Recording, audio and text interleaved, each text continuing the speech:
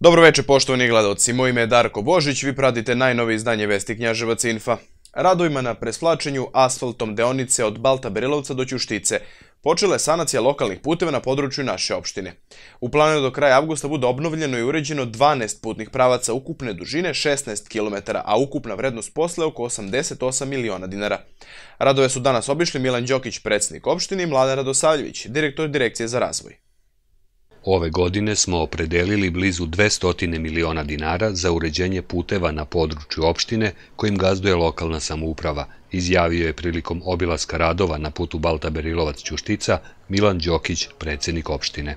Sa radovima smo započeli od Ćuštice, nastavljamo preko Šestog Gabra, pa nadalje kroz Knjaževačka sela, deonicu po deonicu, sve dok u narednih nekoliko godina ne dovedemo stanje saobraćene infrastrukture u knjaževačkim selima onako kako doliko i kako je u drugim zemljama u okruženju, a ne u drugim gradovima u Srbiji, jer odgovorno mogu da kažem da malo koja opština ili grad u Srbiji je u stanju da bez obzira na veličinu budžeta izdvoji 15% ukupnog budžeta za infrastrukturno ulaganja, konkretno samo za saobraćajnice. E, nakon što završimo saobraćajnice do sela, radit ćemo i ulice kroz sela, radit ćemo i nešto ulice u gradu, tako da je sezona infrastrukturnih radova započela za Knjaževačku opštinu i nadamo se da će na kraju ove sezone saobraćajnice na našoj teritoriji biti u mnogo boljoj kondiciji i boljem stanju.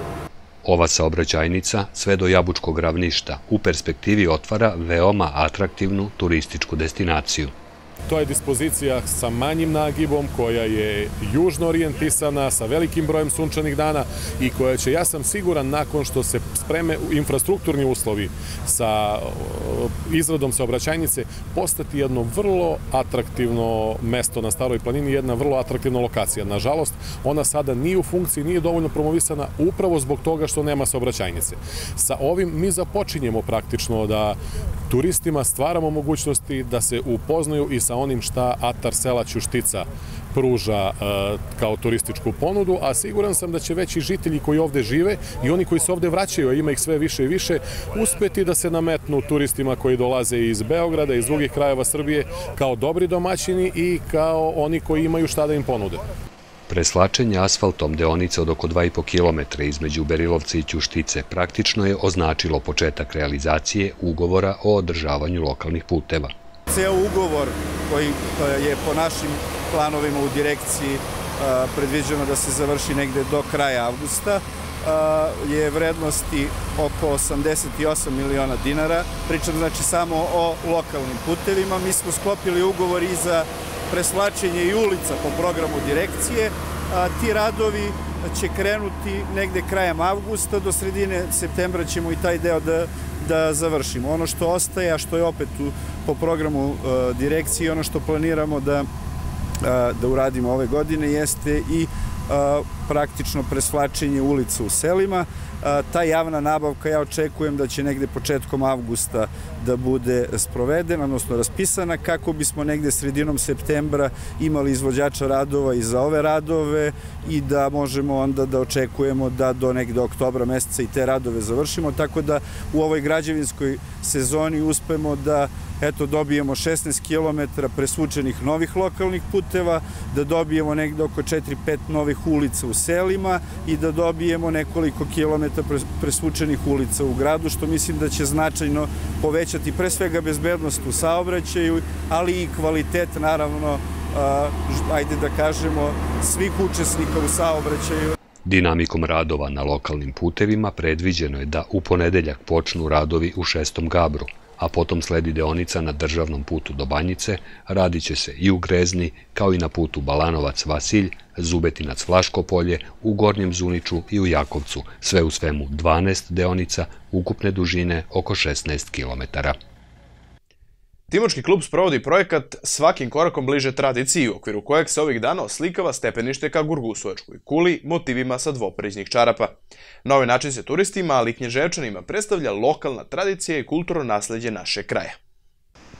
Timočki klub je počeo sa realizacijom projekta svakim korakom bliže tradiciji uz pomoć sredstava sa konkursa za organizacije civilnog društva.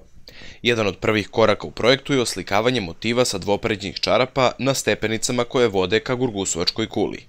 Ovo iza vas što vidite je deo tog projekta. Hteli smo sa našim projektom da jedne izuzetne materijalnu baštinu koje naš grad posjeduje, to su dvopređene čarape, izvučemo iz muzeja i malo približimo široj publici, turistima koji u zadnje vreme jako puno posećuju Knjaževac. Hteli smo da naše građane upoznamo sa vrednostima koje mi kao narod imamo i kao tradiciju koju trebamo da poštujemo i čuvamo. Turiste će do stepenica voditi zanimljivi putokazi. U narednom periodu prestoji nam da malo ove stepenice koje su, da kažemo, sakrivene od e, pogleda, dovedemo ljude tako što ćemo do stepenica ofarbati određeni broj šahti sa motivima i o svemu tome napravit ćemo jednu publikaciju koja će objasniti naravno šta koji motiv predstavlja. Znate da je naš narod vrlo kreativan bio, tako da svaka šara na ovoj čarapi predstavlja neku znači, životinju ili biljku i mislimo da ljudima to trebamo da ostavimo amanet i da ih što bolje upoznamo sa tim.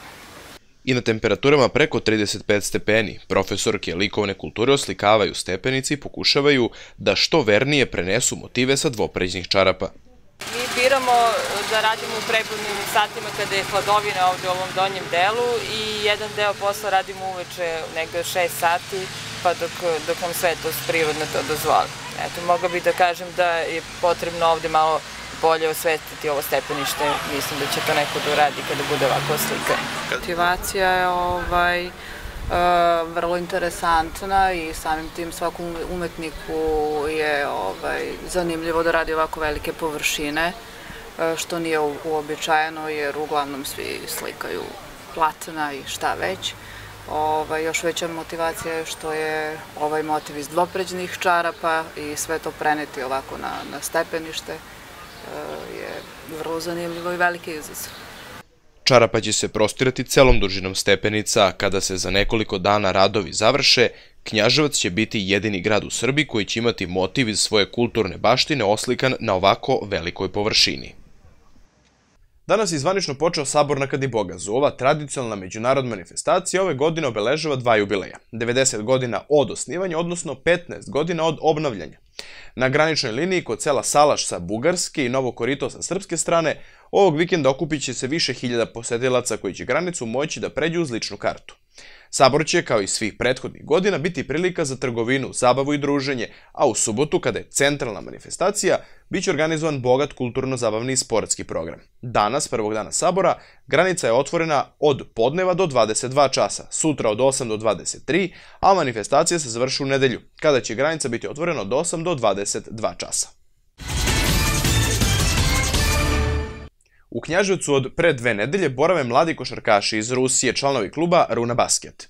Na pripremi ih je doveo Jovan Popović, nekadašnji trener knjaževačkih košarkaša koji već tri sezone radi kao koordinator svih selekcija u tom moskovskom klubu. Opširnu reportažu pogledajte u ponedeljak u emisiji Infosport, a za ove vesti izdvemo deo razgovora sa Jovanom Popovićem. Pa mi smo došli pre neke dve nedelje od 4. jula smo ovde do 24. jula, znači planirano je da se radi tri nedelje, radimo u tri smene, odnosno tri grupe igrača. Prva grupa su dečaci koji su rođeni 2002. godine, druga grupa su dečaci koji su rođeni 2000. godine i najstarija grupa je 97. 98. godište sa dva, tri igrača koji su rođeni 96. godine. Radimo tri puta po sat i po ujutru i tri puta po sat i po popodne. Svaki treći dan popodne je slobodan i svaki četiri dan prepodne je slobodno. Osim košarkaške hale Kaplar koristimo radi u trenažernom zalu, odnosno u teretani i radimo na futbolskom stadionu. Za sad je sve ono što smo planirali odrađeno kako treba, pa se nadam da će i narednih 7 dana proteći u najboljem redu. U futbolskom klubu Knjaževac počele su pripreme mladih igrača za novu takmičarsku sezonu. Rad je organizovan po grupama, a prvi su startovali dečaci rođeni 2003. i 2004. godine. U subotu će im se pridružiti kadetska selekcija, pošto je njihov trener Srđan Ćirić za 18 časova zakazao prozivku igrača. Od sredine naredne nedelje planirano je održavanje redovnih treninga svih selekcija. I na kraju vesti prognoza vremena za subotu. Prema najava meteorologa, pred nama je još jedan tropski dan. Temperatura će samo u ranim jutarnjim časovima biti nešto prijatnija, dok se tokom većeg dela dana očekuje vedro, sunčano i veoma toplo. Jutarnja temperatura 19, maksimalna dnevna 37 stepeni. Poštovani gledalci, to je bilo sve u vestima Knjaževac Infa. Ostanite dalje u naš program i budite u toku.